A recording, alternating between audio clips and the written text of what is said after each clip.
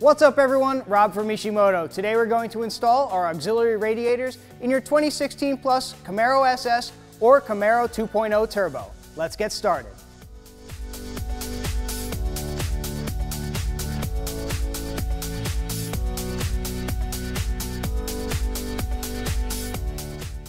Tools recommended for installation include E5 and T15 Torx, 7 and 10 millimeter sockets, quarter inch drive extensions, driver and ratchet, 13 millimeter socket, 3 8 drive extension and ratchet, 22 millimeter socket, flathead screwdriver, small flathead screwdriver or pick tool, 10 millimeter wrench, panel tool, pop clip pliers, channel lock pliers, assorted pliers, diagonal cutters, and masking tape. Also, not shown here, you will need a half inch breaker bar and torque wrench. Installation time is two to three hours. Installation difficulty is a three out of five. Set the vehicle on an automotive lift or raise it with a jack and place it securely on jack stands. Refer to your owner's manual for safe lifting points if you are unsure. Remove the two pop clips that secure the upper edge of the front bumper. Remove the six screws that secure the upper edge of the front bumper. Do not remove the screws that secure the black plastic alignment tabs.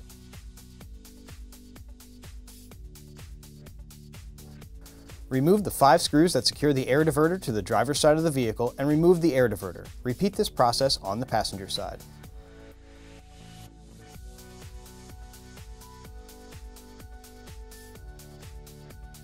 Remove the eight screws that secure the lower edge of the bumper.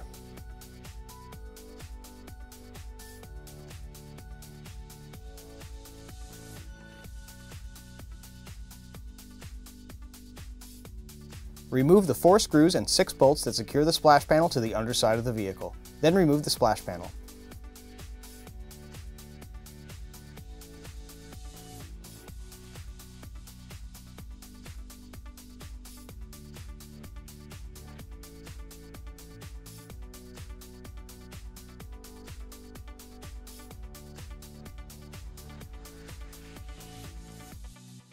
If equipped, remove the four nuts that secure the stock HD oil cooler to the underside of the vehicle. Slide the oil cooler off of the studs in order to access the petcock on the radiator.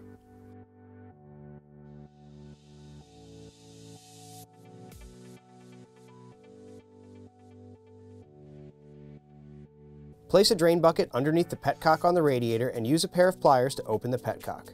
Remove the pressure cap from the expansion tank to expedite the draining process. Close the petcock on the radiator once all of the coolant has drained. If equipped, reinstall the stock HD cooler and secure it with the four nuts you removed earlier.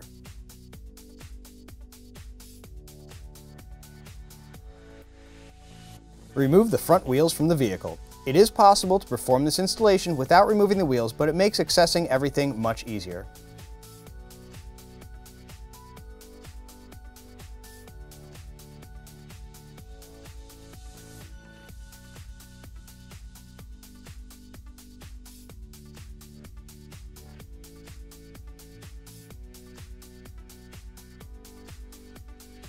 Remove the seven screws and one pop clip that secure the driver's side fender liner to the vehicle.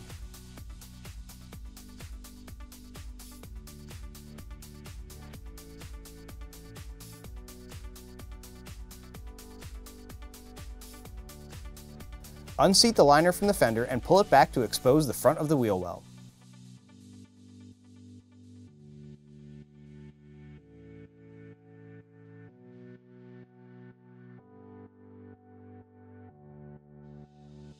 Remove the four screws that secure the bumper to the front edge of the fender. Remove the two screws that secure the bumper to the fender and loosen the inner screw. Pull the upper corner of the bumper away from the fender to release it from the vehicle. Release the two tree clips that secure the lighting harness to the vehicle. Then release the harness connector from the body and disconnect it. To release this connector, slide the red lock tab out of the connector and depress the black tab.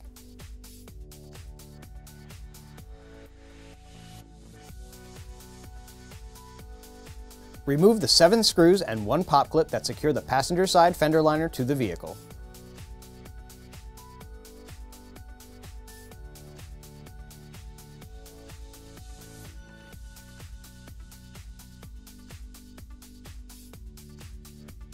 Unseat the liner from the fender and pull it back to expose the front of the wheel well.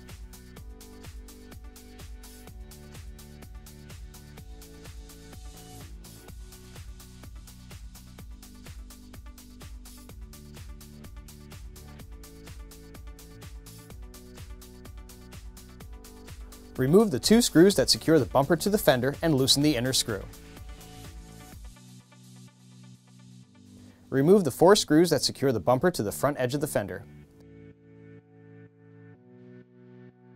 Pull the upper corner of the bumper away from the fender to release it from the vehicle. Lift the top edge of the bumper to free it from the alignment tabs. Remove the front bumper by sliding it forward off the nose of the vehicle. Place a drain bucket under the driver's side auxiliary radiator. Cut the zip tie that secures the protective sleeve to the inner hose. Compress the clamp that secures this hose and move the clamp down the hose. Remove the hose from the radiator.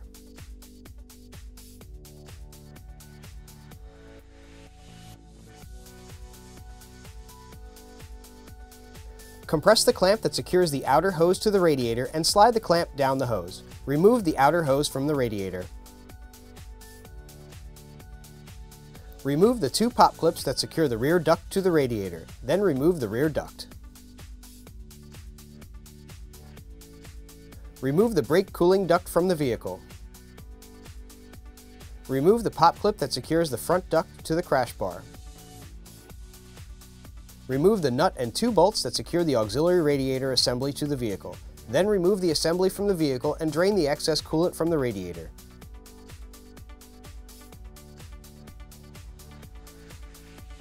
Place a drain bucket under the passenger side auxiliary radiator. Compress the clamp that secures the outer coolant hose to the radiator and slide the clamp down the hose. Then remove the hose from the radiator.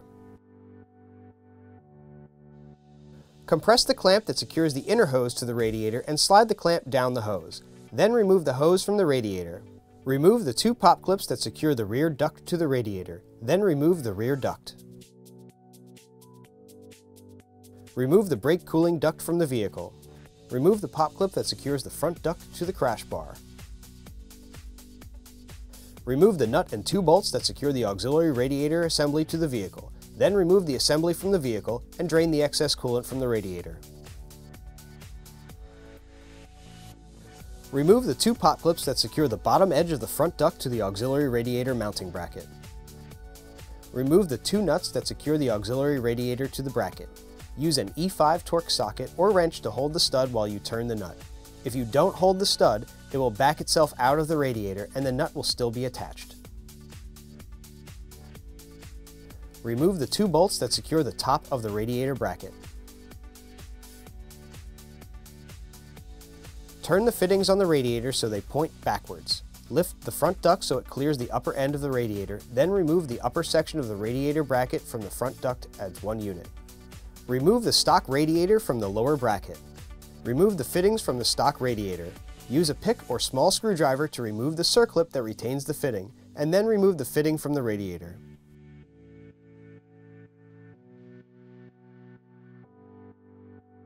Install the fittings to the Mishimoto radiator and reinstall the circlips that retain them. Make sure all three tabs on each circlip engage the slots in the fitting. Position the Mishimoto radiator in the bracket. The two pegs on the bottom of the radiator must engage the grommets on the bracket. Position the fittings on the radiator so they point away from the M logo. Reinstall the upper bracket by slipping it over the fittings. Make sure the tab on the upright slips into the slot on the upper bracket. Join the two sections of the bracket with the original bolts, but don't tighten them yet.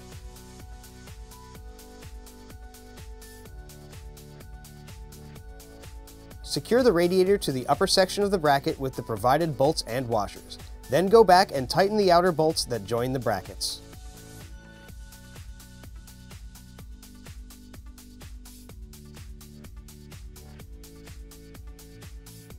Reinstall the pop clips that secure the bottom of the duct to the bracket.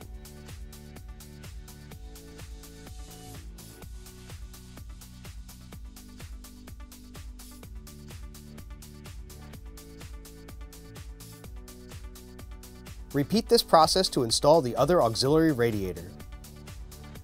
Reinstall the passenger side auxiliary radiator assembly. Attach the outer hose to the radiator and secure it with the spring clip.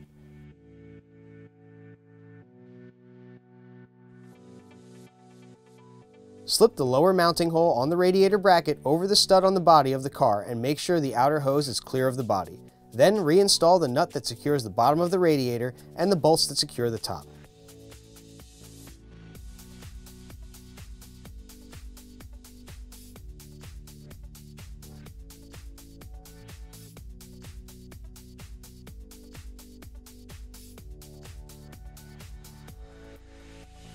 Attach the inner hose to the radiator and secure it with the spring clamp.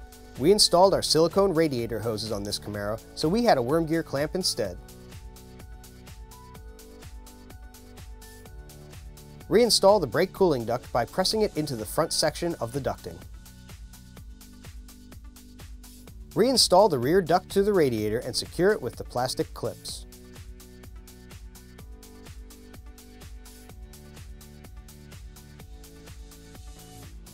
Reinstall the pop clip that secures the front duct to the crash bar. Reinstall the driver's side auxiliary radiator assembly. Secure the assembly with the original nut and bolts.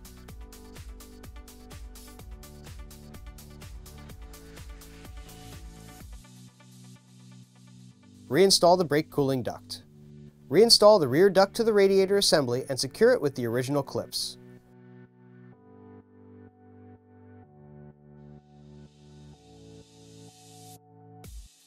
Attach the coolant lines and secure them with the original spring clamps.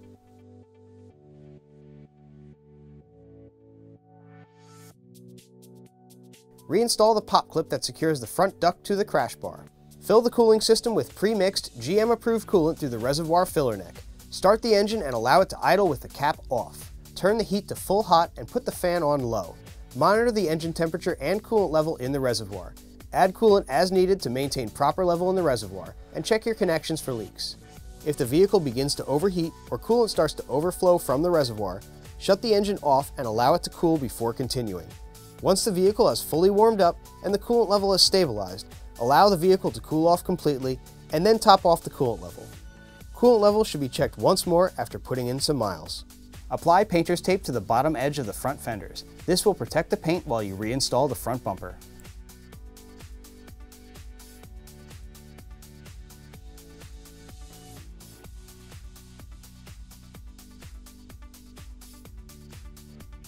Install the front bumper. Align the pins on the bumper with the holes in the fender as you slide the bumper over the nose of the vehicle. Lift the top edge of the bumper over the alignment tabs. Check the fender gap on both sides and then remove the masking tape.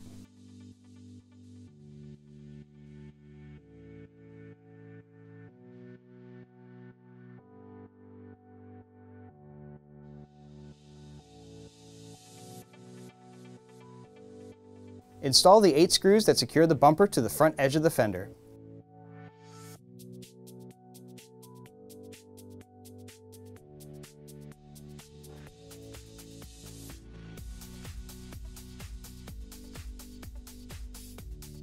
Install the screws that secure the bumper to the bottom of the fenders.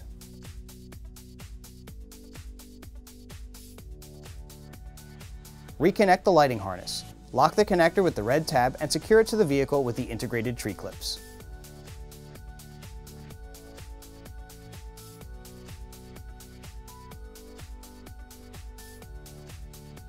Push the driver's side fender liner back into place and make sure the edges are fully seated behind the ducting. Then secure the fender liner with the original hardware. Repeat this process on the passenger side.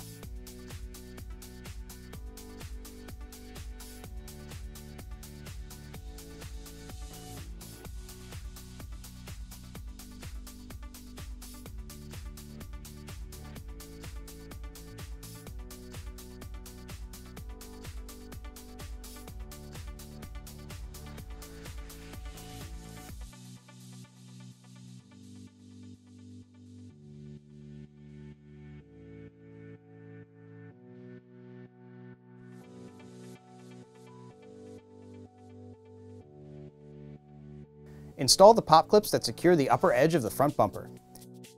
Install the six screws that secure the upper edge of the bumper.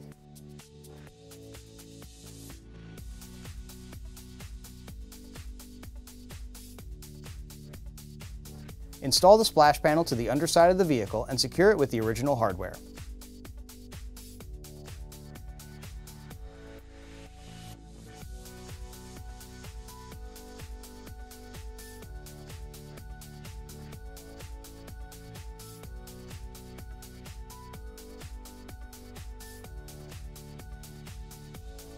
Install both of the air diverters to the vehicle and secure them with the original hardware. If you forgot which side is which, look on the underside of the diverters. The driver's side will be marked LH and the passenger side will be marked RH.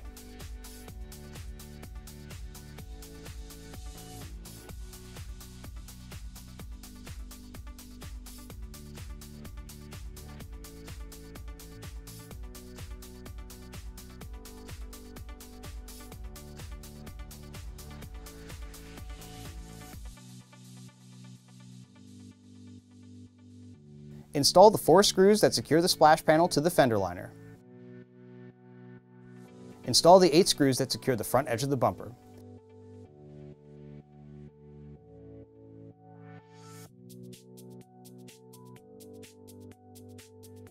Reinstall the front wheels. Torque the lug nuts to 140 foot-pounds in a star pattern.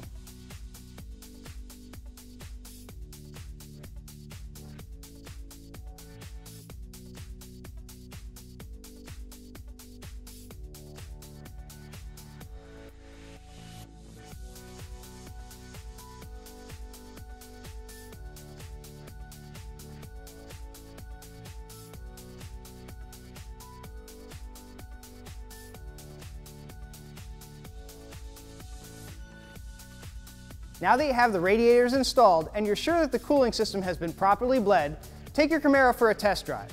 The coolant level should be checked once more once the vehicle is cooled down completely. Don't forget to hit that subscribe button before you head out.